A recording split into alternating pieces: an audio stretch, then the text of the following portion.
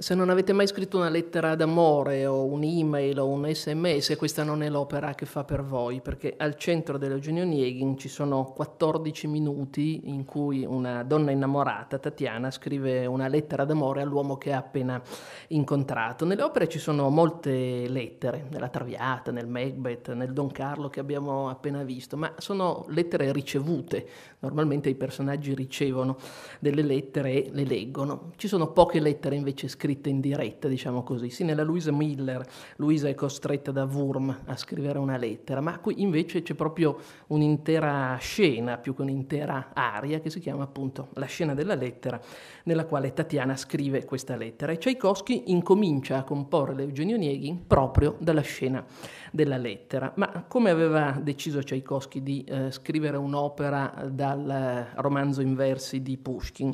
Il 15 maggio del 1877 scrive al fratello raccontandogli una serata che aveva passato il 13 maggio del 1877 a casa di una famosa cantante lirica e insegnante al conservatorio che si chiamava Elisavetta Andreevna Lavrovskaya. Scrive eh, Tchaikovsky. La conversazione verteva sui soggetti d'opera. Il suo stupido marito ciarlava di inimmaginabili assurdità e proponeva i soggetti più impossibili. Elisavetta taceva e sorrideva bonariamente. Poi d'un tratto ha detto perché non prendere Evgenio Onieghin? Questa idea era così assurda che non ho proferito verbo. Più tardi, pranzando da solo in trattoria, mi sono ricordato di Onieghin. Ci ho riflettuto e ho incominciato a trovare l'idea dalla Lavroskaya possibile. Poi mi sono entusiasmato e alla fine del pranzo mi sono deciso. Sono corso subito a cercare il libro di Pushkin. Con difficoltà ne ho scovato uno, sono andato a casa, l'ho riletto con entusiasmo e ho passato una notte completamente insonne, il risultato della quale è stato un libretto per un'opera incantevole con il testo di Pushkin. Il giorno do- dopo sono andato a far visita a Silovsky, che sarà mh, colui che lo aiuterà nella stesura del libretto. Poi c'è chi non ha stima delle cantanti liriche. Se non ci fosse stata Elisavetta Lavroscaia, noi adesso non avremmo l'Eugenio Nieghin. Allora, Pushkin. Eh, Alexandr Sergei Pushkin era nato a Mosca il 26 maggio del 1799 ed era nipote di un celebre principe abissino che era stato portato in Russia ed era stato donato a Pietro il Grande. Pushkin era un poeta, uno scrittore, ci sono tantissime opere liriche che sono tratte dalle opere di Pushkin, il Boris, Mozart e Salieri, Il convitato di pietra, La dama di picche, La figlia del capitano è uno dei suoi eh, testi più celebri, quelli che per quelli della mia generazione vuol dire Nazari che faceva Pugaciov. Eh, L'Eugenio Nieghin ha una particolarità, è un romanzo in versi, ci sono strofe di 14 versi e che hanno dato addirittura un nome a uno stile eh, di scrittura, cioè quella che si cre- chiama la strofe onienineghiana, perché sono le strofe usate da Pushkin in Onieghin. Eh, la scrittura è bizzarra di Onieghin, nel senso che eh, dal primo momento in cui ha cominciato a scrivere l'Onieghin alla fine sono passati esattamente 7 anni, 4 mesi e 17 giorni. Tutto questo perché veniva pubblicato eh, a puntate, cioè i capitoli venivano pubblicati ogni tanto, quindi dalla primavera del 1823 all'autunno del 1831. Poi nel 1833 venne pubblicato per la prima volta e poi una seconda edizione nel 1837. In questo romanzo in versi c'è ovviamente una grande influenza di Byron e che cosa succede? Il narratore racconta di essere amico di Eugenio e racconta quindi la vita di Eugenio Nieghi. Eh, l'azione si svolge a San Pietroburgo nel 1819. Eh, c'è moltissima moltissima critica sociale, c'è moltissima ironia, cosa che c'è meno nell'opera di Tchaikovsky. Eh, addirittura um, Onieghin cita di avere un orologio, un breguet che gli era stato regalato da uno zio e per molti anni eh, la breguet ha utilizzato come pubblicità proprio la frase di Pushkin eh, dicendo che Onieghin e Pushkin usavano questi orologi. Eh, è stato definito una sorta di enciclopedia della vita russa perché c'è tutto quello che noi consideriamo esserci in una tradizionale vita russa. E lo racconteremo per Dostoevsky, Tatiana è il modello ideale della donna russa.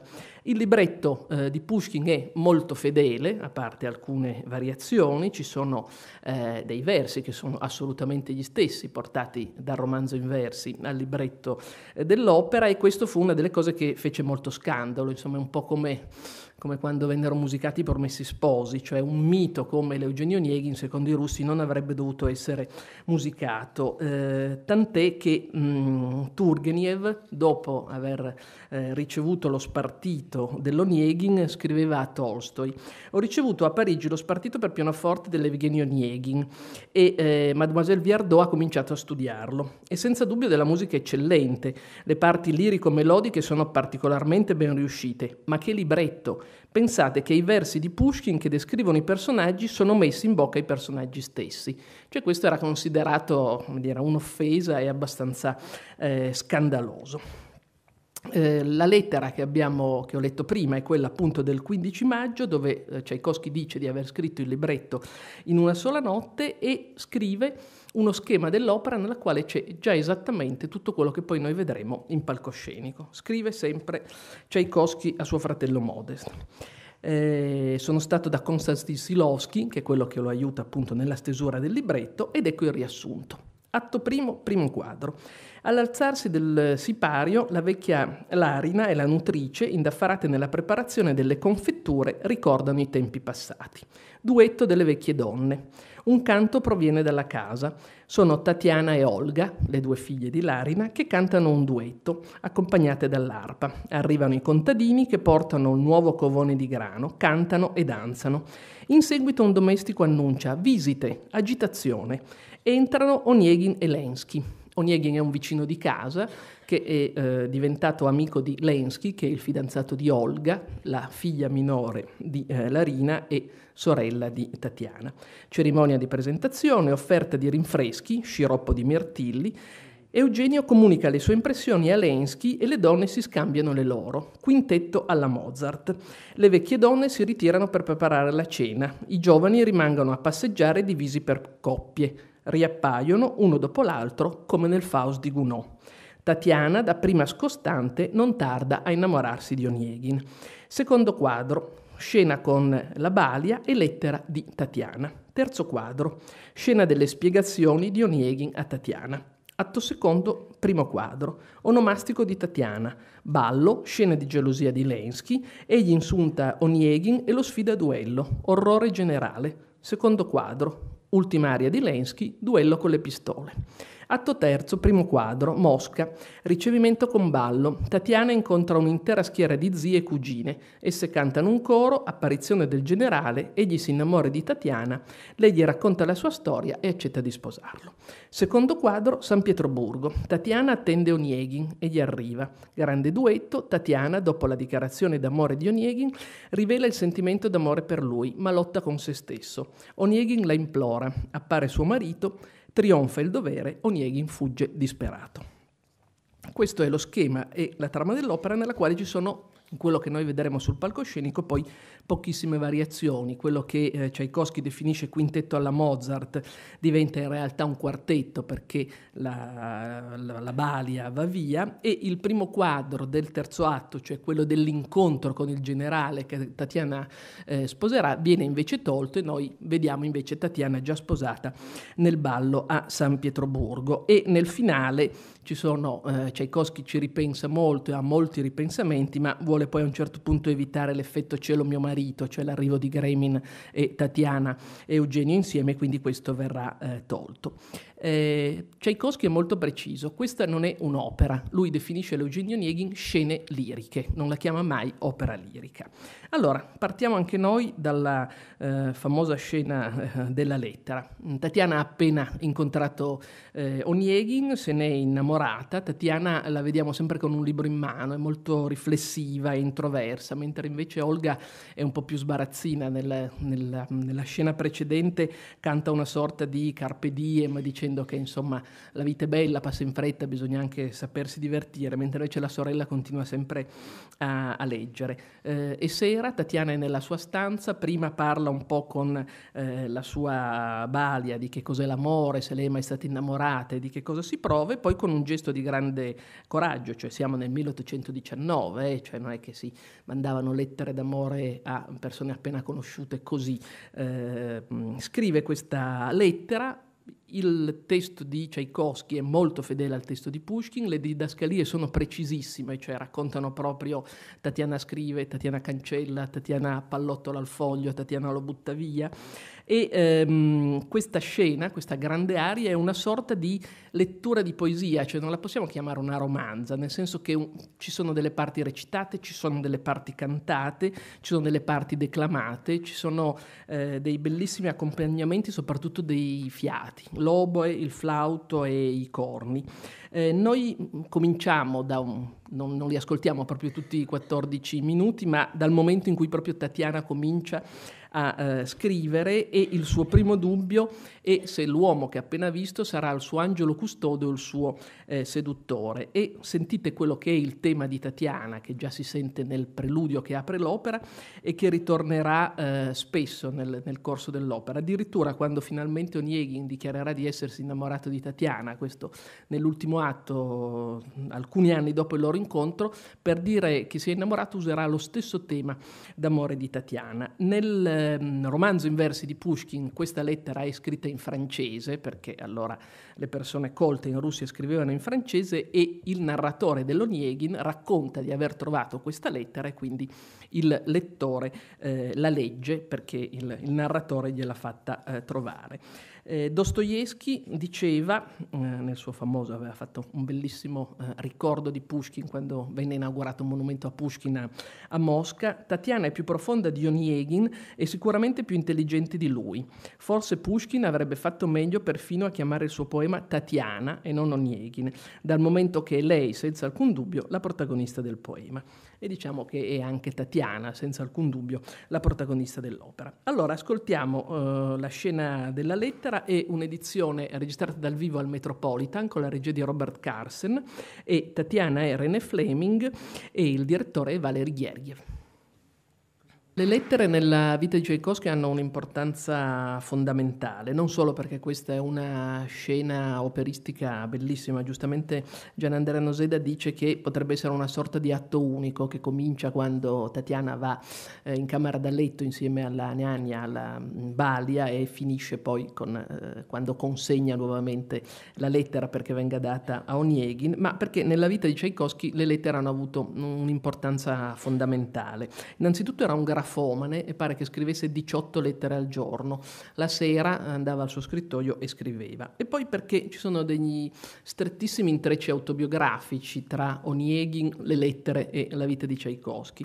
Eh, proprio mentre stava componendo l'Onieghin, Tchaikovsky aveva ricevuto la lettera di un'ex allieva del conservatorio, Antonina Miliukova, mh, mm, che gli aveva scritto una lettera d'amore dicendo che era innamorata di lui e che avrebbe eh, voluto incontrarlo. Eh, Tchaikovsky eh, perde questa lettera, la mette da parte, insomma non la trova più.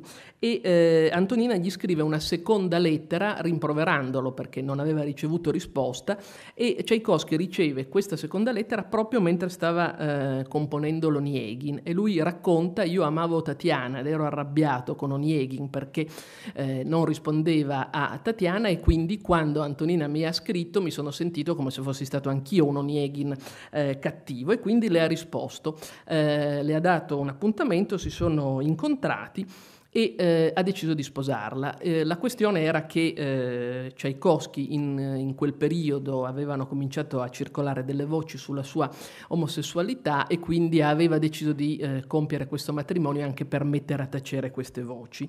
Eh, è stato un matrimonio eh, infelicissimo, nel senso che dopo pochissimi giorni Tchaikovsky non resiste a questo matrimonio e scappa letteralmente lasciando la moglie e quindi non ci sarà proprio ne- nessuna possibilità possibilità di mh, ripresa di eh, rapporto tra di loro e questo diciamo è il primo incastro autobiografico tra una lettera e l'Onieghin. Eh, la seconda è il fatto che per 14 anni Tchaikovsky, proprio da eh, poco prima eh, dell'Onieghin, ha avuto un rapporto epistolare con Nadezza von Meck, che è stata la sua eh, mecenate e che gli passava una rendita di 6.000 rubli all'anno, eh, una nobildonna con la quale praticamente non ebbe mai nessun tipo di incontro personale occasionale. Una volta a Firenze si sono visti, lui era per la strada e lei era in carrozza e, e si sono visti, poi si sono incontrati o visti in salotti o in saloni, ma sempre da lontano. Però si scrivevano, per 14 anni si sono scritti, lei gli commissionava dei brani, lui le raccontava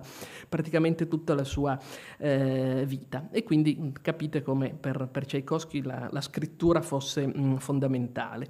Eh, Tatiana aspetta una risposta da Onieghin e in Pushkin questa attesa è eh, raccontata in una maniera eh, molto bella. Ogni volta che arriva qualcuno, Tatiana guarda dalla finestra sperando che sia Onieghin o che sia una risposta di Onieghin e eh, c'è una scena nel quale il, il cameriere eh, porta il, il, tè e i vetri si appannano e sui vetri appannati eh, Tatiana scrive E-O, le iniziali di Onieghin come le adolescenti che sul diario scrivono ossessivamente il nome del ragazzo del quale sono innamorati. Nell'opera, finita questa scena c'è eh, subito il quadro successivo nel quale c'è questo incontro freddissimo con Onieghin. Sembra un preside che faccia un predicozzo piuttosto che un uomo che abbia ricevuto una lettera d'amore così spontanea e così sincera.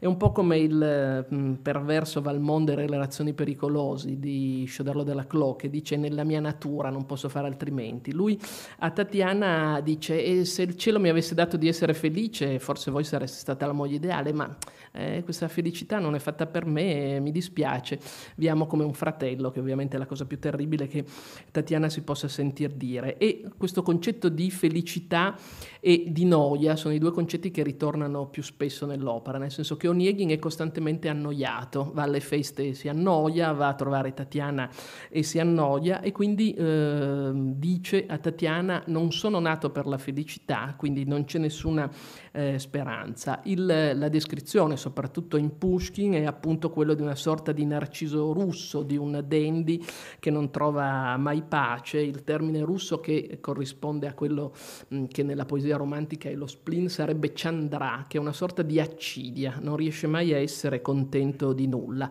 Eh, Pushkin racconta, arriva in campagna e dopo tre giorni era già annoiato di essere in campagna, è una sorta di Don Giovanni solitario che poi diventa una sorta di olandese volante perché è costretto sempre a viaggiare per cercare di trovare quella pace che non trova.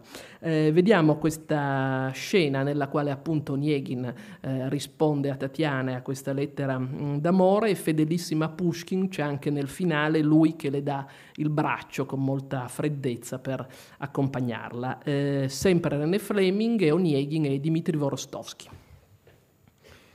Eh, Onieghin ovviamente è un baritono, nel senso che il ruolo del tenore, diciamo così, dell'amoroso è affidato a Lensky, il poeta. Tchaikovsky compone eh, l'Onieghin in fretta, il 25 gennaio del 1878 è già finito l'orchestrazione, però non ha ancora concluso la scena del duello e eh, la finirà poi invece nel mese successivo a Sanremo, era in viaggio in Italia e la, fin- la finisce a Sanremo.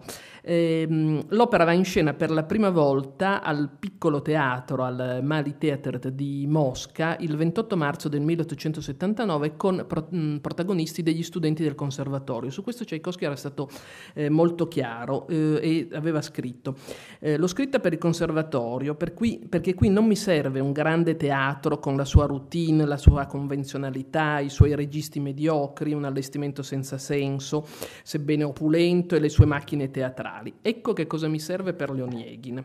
Cantanti di media forza ma ben preparati e comprensibili, cantanti che oltre a questo recitino con semplicità ma bene. Un allestimento non opulento ma che aderisca strettamente all'epoca. I costumi devono essere esattamente del periodo in cui si svolge l'azione dell'opera, gli anni venti.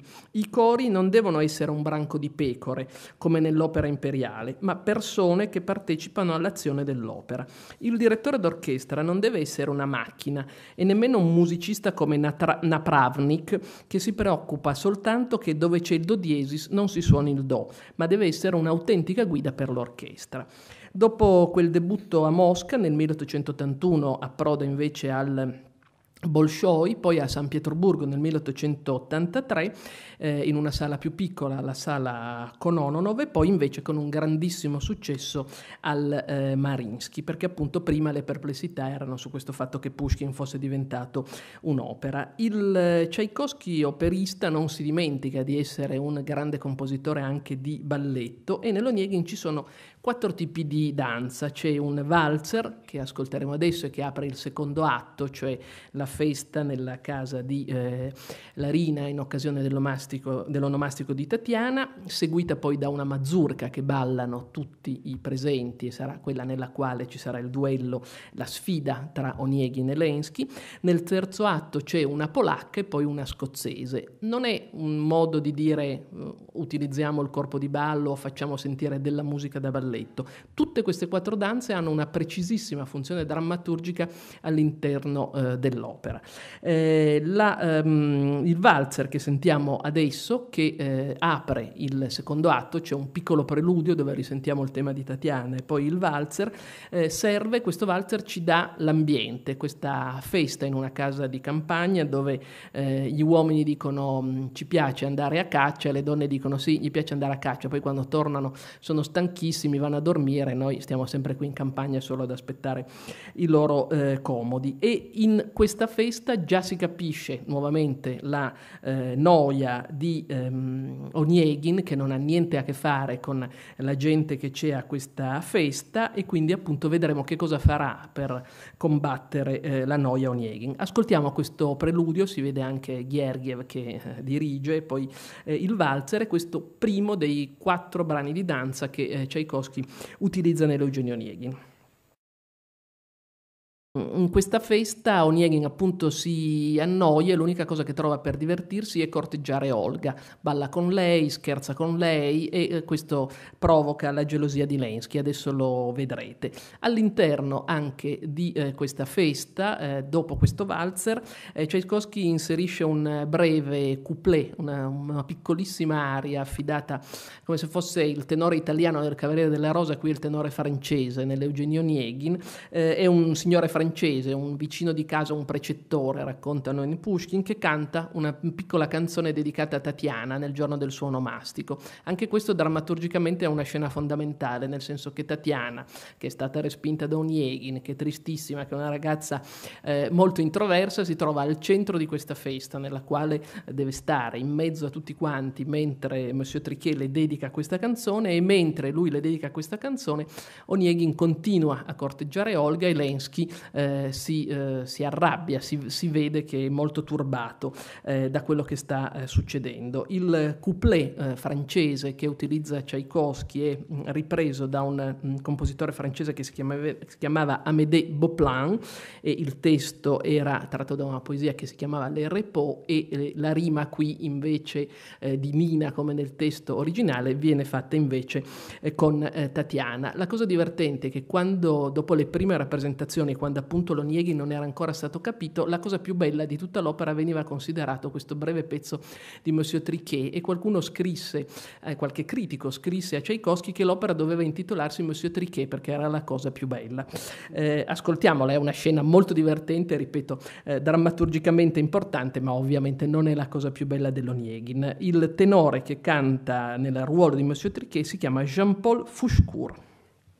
Qui comincia la mazurka, avete visto eh, in questo allestimento la faccia seria di Lensky e invece Onieghin che scherzava con Olga, ovviamente Lensky è molto turbato, adesso c'è la mazurka e lui vorrebbe ballarla con Olga e Olga molto superficialmente dice ma no l'ho promesso a Onieghin e va a ballare con lui, non rendendosi conto di quanto Lensky sia rimasto eh, colpito, di quanto sia mh, geloso. E allora proprio nel eh, finale di questo atto c'è la sfida a duello, nel senso che Lensky si ritiene eh, offeso e eh, sfida a duello eh, Onieghin e l'atto eh, si conclude con un eh, concertato nel quale appunto tutti sono stupefatti che una cosa del genere possa essere accaduto in una festa e soprattutto tra due amici. In um, Pushkin invece è leggermente deve- diverso, nel senso che Lensky, seccato del fatto che Olga non abbia ballato con lui la mazurka, se ne va, abbandona la festa, manda un biglietto di sfida a duello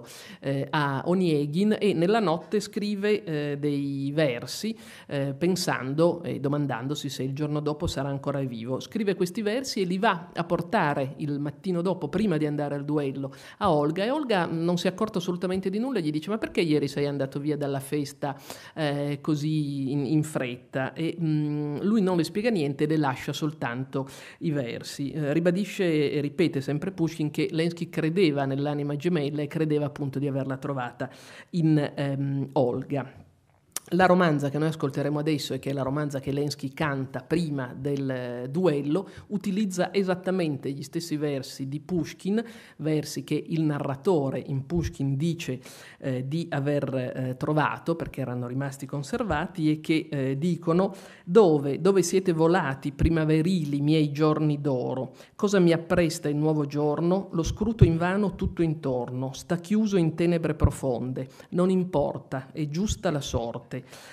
Cada io trafitto dallo strale o mi sorvoli passando via, ben venga, arriverà la mia ora del sonno o del vegliare, e benedette anche le pene, benedetto il buio che viene. Sono versi che sembrano un po' gli ultimi versi di eh, come un dernier eh, rayon, come un di maggio di Andrea Chenier, perché Pushkin amava moltissimo eh, Andrea Chenier, eh, il poeta, ovviamente.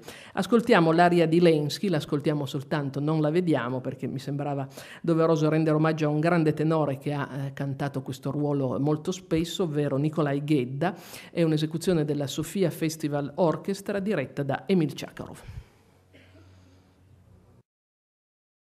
Questa in Russia è un'aria famosissima, esistono delle bellissime trascrizioni per violino solo o per violoncello proprio di questa romanza. Vi raccontavo prima degli intrecci autobiografici, diciamo così, tra la scena della lettera e la vita di Tchaikovsky, c'è un terribile intreccio autobiografico tra la scena del duello e Pushkin, nel senso che quando Pushkin scrive l'Eugenio Nieghin a partire appunto dal 1823 non immaginava certo che 14 anni dopo sarebbe morto anche lui in un duello. Eh, Pushkin muore il 27 gennaio del 1837, eh, era, aveva sfidato a duello Georges Danté che era eh, convinto fosse l'amante della moglie, c'è una storia eh, incredibile dietro, un, un intreccio eh, politico e non soltanto diciamo così sentimentale. Pochi giorni prima di questo duello Pushkin aveva ricevuto una lettera che lo nominava re dei cornuti e quindi era rimasto rimasto profondamente offeso da questa lettera anonima e quindi aveva sfida- sfidato questo Georges Dantes ed era rimasto ferito a morte, muore do- due giorni dopo il duello. Se andate a San Pietroburgo a visitare la bellissima casa museo eh, di Pushkin, sulla porta della camera da letto di Pushkin c'è il bollettino medico che ogni eh, due o tre ore veniva stilato in questi due giorni di agonia fino appunto alla eh, morte di Pushkin. Dopo il duello, dopo la morte di Lenski, bastava poco, bastava che uno chiedesse scusa, bastava che i due si dicessero abbiamo scherzato e invece dicono nemici, siamo nemici e poi c'è il duello, Lenski muore e Onieghin parte, parte immediatamente, va in eh, viaggio. E Tatiana rimasta eh, da sola, racconta Pushkin, eh, languisce, non mangia, deperisce, va a visitare la casa di Onieghin, tutto questo nell'opera non c'è, va a visitare la casa di Onieghin, eh, visita la sua biblioteca, guarda i suoi libri per cercare di capire chi era, per capire se era appunto un angelo o un seduttore, se era un uomo bislacco come lo definisce o se era buono, vede le statuette di Napoleone, cerca insomma di capire un po' la sua personalità. Olga invece diciamo si consola abbastanza in fretta e sposa un ulano, un soldato della cavalleria e eh, si allontana anche lei dalla tenuta di campagna. La famiglia decide che Tatiana si deve sposare, viene mandata a Mosca eh, dove le zie la accolgono e viene appunto data in sposa a un eh, generale. Tutto questo, diciamo così, succede nell'intervallo tra il secondo e il terzo atto e quando si apre il terzo atto siamo in una casa aristocratica di San Pietroburgo dove Onieghin è appena tornato da un lungo viaggio e partecipa a questa festa e esordisce subito dicendo che la noia anche lì lo insegue.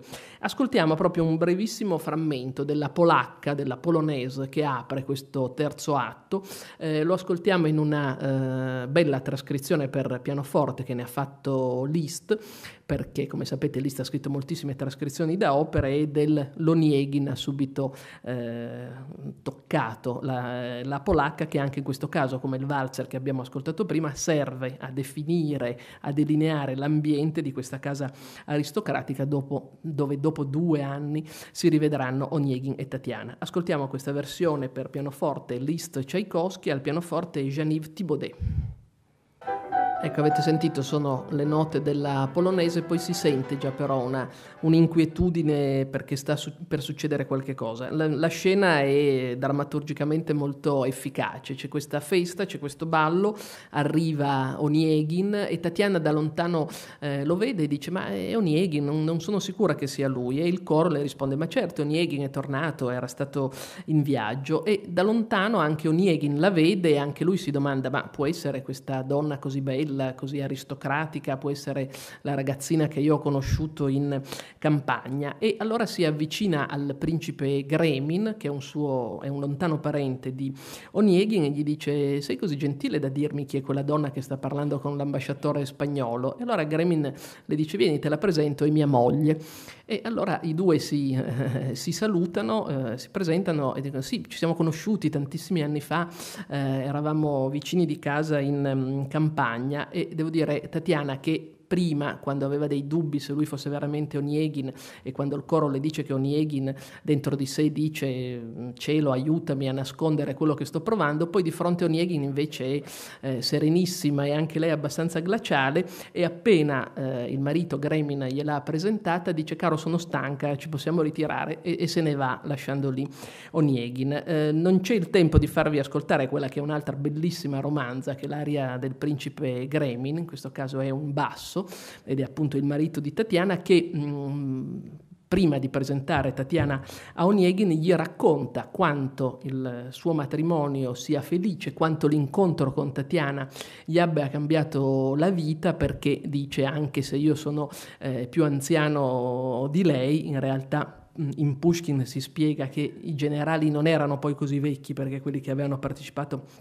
alle campagne napoleoniche erano stati promossi anche se erano più giovani, ma si tende sempre a fare un po' come Filippo II, no? se lo si fa sempre molto più vecchio, eh, si fa sempre il principe Greming un, un, po' più vecchio di Tatiana e quindi mh, eh, Onieghin si sente anche, come dire, questo racconto, lui che diceva al matrimonio non avrebbe mai potuto darmi la felicità, si sente invece raccontare da Greming quanto la sua vita è felice. Tatiana se ne va e Onieghin dice sono innamorato, ho scoperto che la amo, amo follemente veramente questa donna ed è una sorta, come dire, di scongelamento proprio da parte di Onieghin e appunto di utilizzo del, del tema di Tatiana. Allora, vediamo questa eh, scena nella quale nella, nella, festa Tatiana è appena andata via e mentre si sentono le note della scozzese, che è l'ultima danza che eh, Tchaikovsky utilizza, Onieghin canta il suo arioso di innamorato questa volta.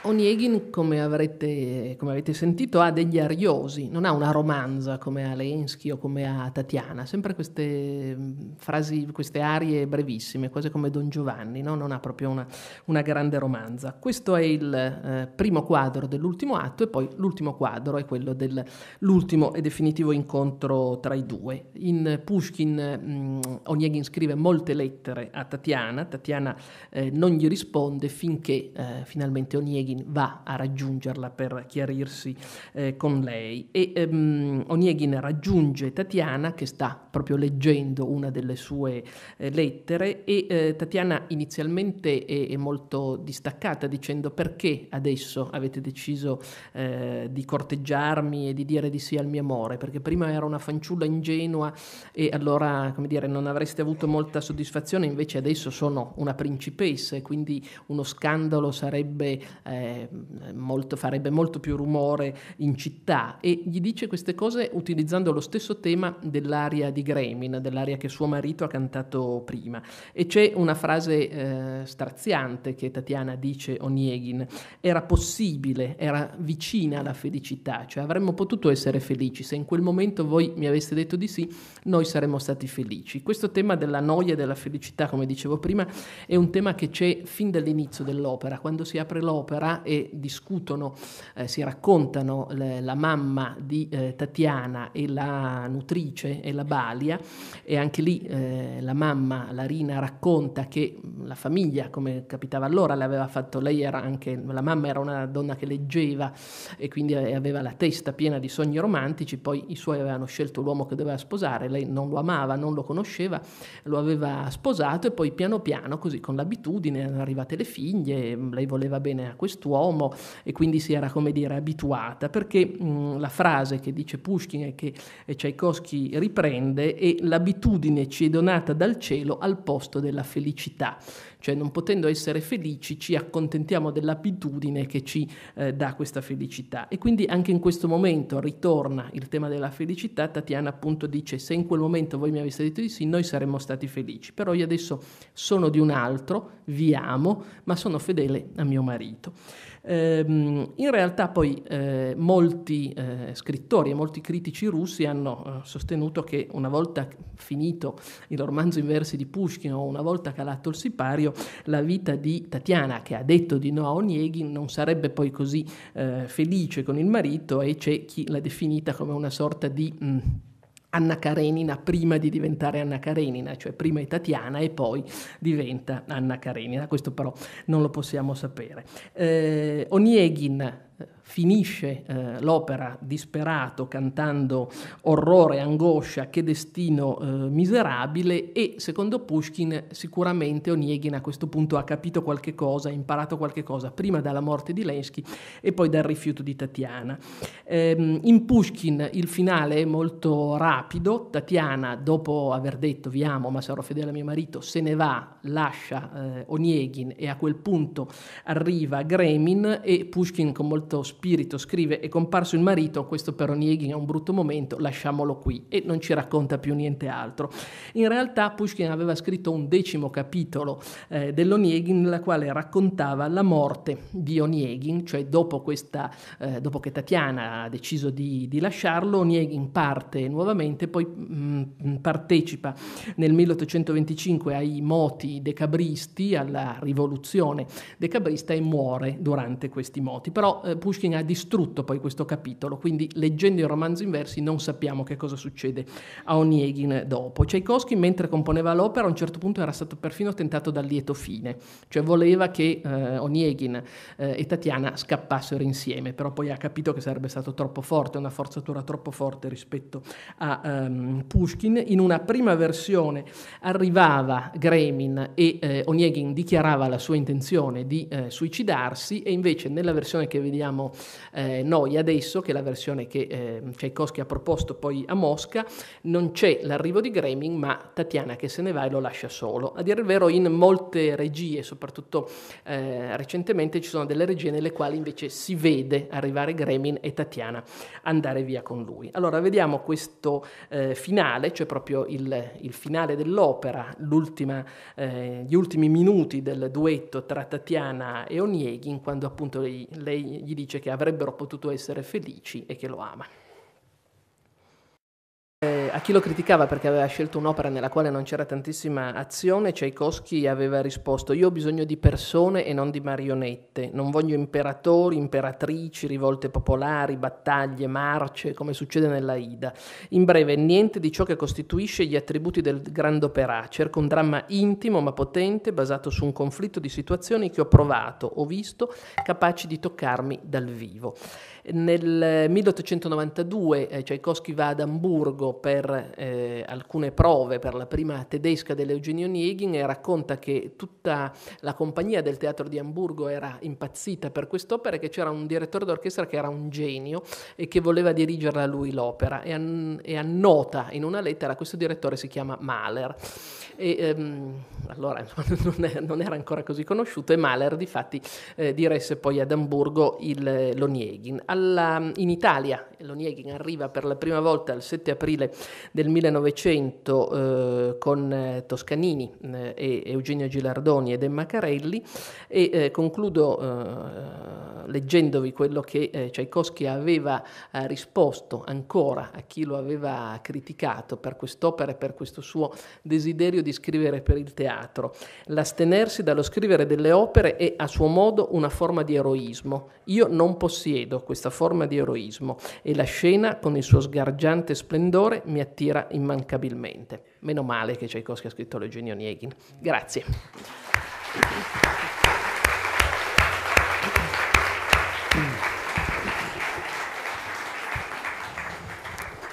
Lo spettacolo che vedremo, eh, che è firmato dal regista Casper Holten, pone l'accento sul, sugli aspetti esistenziali del, della, di questa storia di, di, sogni e desideri infranti. E questo rimorso che abbiamo visto così palpabile nella scena finale, in qualche modo è rincorso lungo tutta l'opera grazie all'uso, all'introduzione di dei, dei, doppi di Onieghin e Tatiana che hanno in scena il corrispettivo giovane e in questo modo eh, si, dire, viene reso mh, eh, visibile il tentativo che l'uomo fa eh, naturalmente di cercare di raggiungere il se stesso più giovane per, per modificare il, il, suo comportamento, il suo vissuto, cosa che è impossibile e che poi porta alla, alla tra- tragedia sentimentale finale. Eh, per cui è un aspetto che vi lascio prima di andare a vedere l'opera, che appunto sarà in scena fino al 26. Eh, poi il teatro è in tournée eh, di nuovo dopo la diciamo, rappresentazione parigina di Don Carlo. Andremo il 28 e il 29 a Dresda e alla Concerthaus di Vienna con eh, la messa da Requiem di Verdi. Torniamo invece poi a parlare di opera qui il 5 giugno eh, in attesa dell'italiano in Algeri. Grazie a Susanna Franchi che risentiremo in radio dopo domani sera in occasione della diretta su Radio 3 e alla prossima.